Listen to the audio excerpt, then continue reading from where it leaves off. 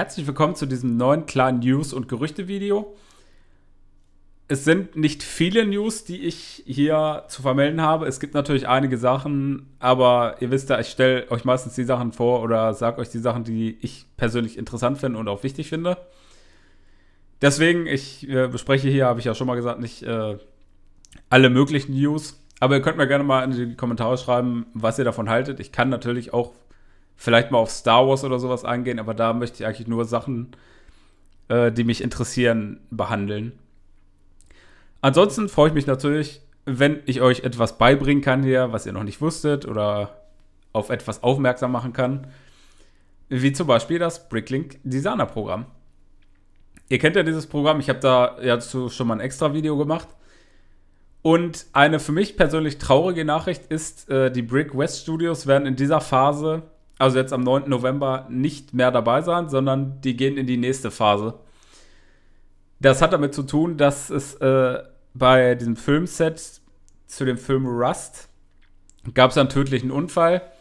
Äh, Alec Baldwin hat da versehentlich äh, eine Kamerafrau erschossen. Wisst ihr ja wahrscheinlich auch, äh, habt ihr wahrscheinlich in den Nachrichten irgendwie gelesen. Deswegen wird das Set leider verschoben. Es ist für mich aber völlig verständlich, dass sie das machen. Nicht nur, dass das äh, vielleicht ein bisschen komisch wäre, weil diese Szenerie ist ja auch ähnlich. Es ist ja ein Western-Set, es ist ein Film, der im Western gedreht wird. Ist dann vielleicht ein bisschen makaber. Es ist natürlich auch nicht äh, von der Hand zu weisen, dass das für Lego wahrscheinlich auch besser ist. Denn jetzt werden viele sagen, ey, wie können die denn sowas rausbringen? Das kannst du doch nicht machen, wenn hier gerade dieser Unfall passiert ist. Es hat vielleicht auch rein theoretisch, das ist jetzt nur eine Mutmaßung von mir, äh, finanzielle Hintergründe, dass sie sagen, okay, das Set würde sich jetzt eh nicht verkaufen ich will da nicht unterstellen, dass sie das jetzt nur deswegen machen. Ich finde, das ist eine gute und richtige Entscheidung. Genauso gut finde ich es aber, dass es nicht komplett äh, storniert wird, sondern dass man es später haben kann. Dafür rückt äh, dieses äh, Venedig-Haus, äh, diese Szenerie quasi nach. Hat eine ähnliche Teilegröße, hat, soll 17 Minifiguren dabei haben. Das glaube ich irgendwie noch nicht, nicht so wirklich. Also da werden, können wir mal gespannt sein. Es gibt leider bis jetzt nur diese beiden Bilder dazu. Ich finde es, wie gesagt, schade, aber verständlich, weil das ist mit Abstand das äh, Set gewesen, was ich mir als Pflichtkauf schon fast quasi zurückgelegt hat. Gut, das muss jetzt halt warten. Das Gute ist, man spart natürlich wiederum Geld. Also äh, der November wird sowieso teuer, Black Friday. Ich versuche ja immer noch die Pirate Bay irgendwann zu bekommen. Also ist das jetzt nicht so schlecht. Also da werde ich auf jeden Fall euch dann auch nochmal berichten, 2022. Wenn die dritte Review-Phase vor oder anläuft, dann werden wir uns auch nochmal alle angucken, die Sets.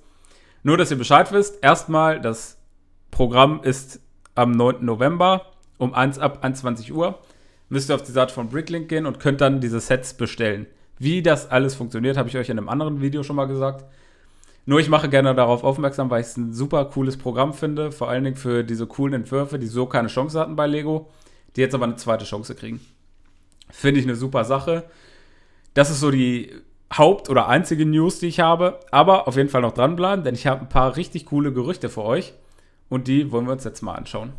Bei dem ersten Gerücht gehen wir quasi in die Welt von Marvel und es soll nächstes Jahr einen weiteren Hulkbuster geben. Und zwar, wir hatten ja diesen Hulkbuster 2018 in der Age of Ultron Version.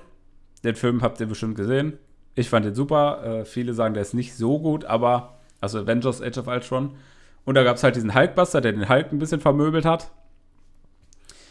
Und da soll es jetzt einen D2C Hulkbuster im nächsten Jahr geben, der wohl doppelt so groß auf jeden Fall sein soll, 50 bis 60 Zentimeter. Und äh, das ist dann quasi dieses D2C oder UCS-Set, was schon irgendwie die ganze Zeit rumgeistert, dass das bei Marvel geben soll. Ich persönlich finde es ein bisschen schade, dass es nicht der Avengers Tower ist. Den Avengers Tower für 300 Euro oder 250 Euro, den mal in groß zu machen, das wäre auf jeden Fall eine gute Idee. Ich bin gespannt, wie der Hulkbuster aussieht. Mal gucken, ob es den im freien Handel angeben wird, ob es da Rabatte geben wird. Äh, ja, Gucken wir mal, ob das Gerücht sich bestätigt. Aber meistens diese Gerüchte, die äh, kommen schon ganz gut hin. Es sind, wie gesagt, alles, was jetzt kommt, nur Gerüchte. Es gibt da keine offizielle Bestätigung von Lego oder sonst was. Es, äh, äh, ich verlinke euch die Quellen dann wieder in der Videobeschreibung. Manche habe ich von Promo-Breaks, manche von den einschlägigen Instagram-Usern, was ich euch ja schon öfters gesagt habe. Guckt da einfach immer mal wieder rein. Und Harry Potter bekommen wir wohl auch zwei neue Sets.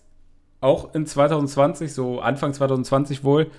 Da ist aber noch nichts bekannt. Es sind die, äh, die Setnummern bekannt. Und immer wenn das so eine 40 am Anfang ist, es könnte ein GWP sein, es könnte aber auch ein Brickhead sein. Es könnte auch ein Minifiguren-Pack sein, das ist noch nicht klar. Also was davon ist, weiß keiner. Es sind aber wohl zwei Sets, die quasi mehr oder weniger äh, bestätigt sind, dass diese Sets kommen sollen. Gibt aber natürlich noch keine offiziellen Infos dazu. Bin ich auch mal gespannt. Die Minifiguren-Packs von Harry Potter, die finde ich eigentlich immer ziemlich gut, muss ich sagen. Man bekommt vier coole Figuren normalerweise und es ist nicht immer nur Harry, Ron, Hermine. Also es sind auch schon, das letzte hatte ich euch auch vorgestellt, das fand ich gut. Es sind auch so teilweise äh, generische Zauberer dabei oder die man in generische Zauberer schnell umbauen kann. Finde ich eine gute Sache. Ich hoffe, dass es das ist. GWP kommt natürlich immer darauf an. Das wird dann wahrscheinlich so wie dieser Schlafsaal von Harry Potter jetzt sein, der auch als GWP äh, aktuell verfügbar ist, der dann mit dem äh, Schloss verbindbar ist, mit dem neuen. Müssen wir uns mal überraschen lassen. Und dann gibt es noch bei der Creator Expert oder 18 Plus Serie das Gerücht, dass wir eine Vespa bekommen sollen. Die soll so um die 100 Dollar kosten und es soll auch ein GWP theoretisch dazu geben. Ob das jetzt äh, eine Vespa ist in klein oder ob das irgendwas ist, was das an, was da sich dran anlehnen soll, das kann ich euch leider nicht sagen. Äh, die Info stammt von Brickclicker von äh, Instagram, könnt ihr gerne auch mal vorbeigucken. Äh, immer am besten die Augen offen halten und Ohren offen halten. Es sind wie gesagt alles nur Gerüchte. Aber normalerweise steckt bei diesen Gerüchten immer einiges dahinter. Eine Vespa fände ich gar nicht so schlecht, muss ich sagen. Also, ich bin nicht der Motorradfan, aber so eine Vespa ist halt sehr ikonisch. Ist halt cool, muss man mal gucken, wie die dann aussieht. Wenn das natürlich dann, ja, wenn das, äh, ich weiß nicht, wenn das so ein kleines Fiasko wird wie der T2, den T2 finde ich leider tatsächlich echt nicht so gut. Wäre es schade, aber ich bin gespannt, wie die das machen. Ich fand die Harley Davidson zum Beispiel ziemlich gut. Also die war echt gut gelungen, bis auf dass es keine Chromteile waren. Aber lassen wir uns mal überraschen, was von diesen Gerüchten am Ende alles wahr ist. Was diese Gerüchte betrifft, wenn das alles bestätigt ist, werde ich dazu auf jeden Fall nochmal ein Video machen. Aber ich wollte euch schon mal ein bisschen vielleicht einen Vorgeschmack geben oder ein bisschen äh, diese Gerüchte, die gerade im Netz rumgeistern, weitergeben. Es gibt leider noch keine Gerüchte zu irgendwelchen Herr der Ringe-Sets. Äh, es gibt leider noch keine wirklichen Gerüchte zu einer komplett neuen Themenreihe. Deswegen müssen wir uns da mal überraschen lassen. Schreibt mir gerne in die Kommentare, was haltet ihr davon? Würdet ihr eine Vespa cool finden? Werdet ihr euch einen Age of Ultron Hulkbuster in der Infinity War Edition quasi holen, in größer? Bestellt ihr euch ein äh, Set bei dem Bricklink Designer Programm? Schreibt mir alles gerne in die Kommentare. Lasst auch gerne ein Like oder ein Abo da, wenn euch das Video gefallen hat. Und dann würde ich sagen, sehen wir uns auf jeden Fall ganz bald wieder. Habt einen schönen Tag und bis bald.